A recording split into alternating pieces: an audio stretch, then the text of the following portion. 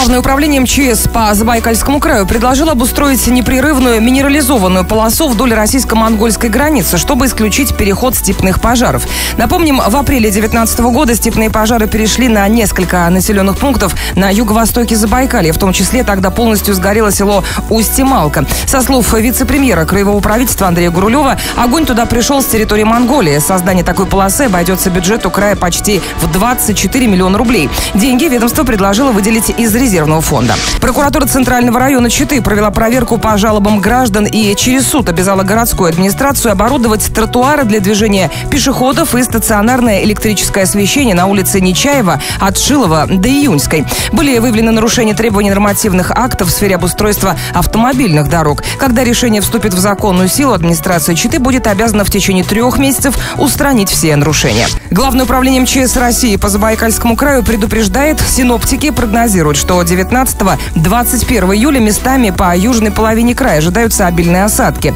О штормовом предупреждении проинформированы руководители министерств, ведомств и органы местного самоуправления. Им рекомендовано предпринять комплекс профилактических мероприятий, держать развитие ситуации на подведомственных территориях под контролем.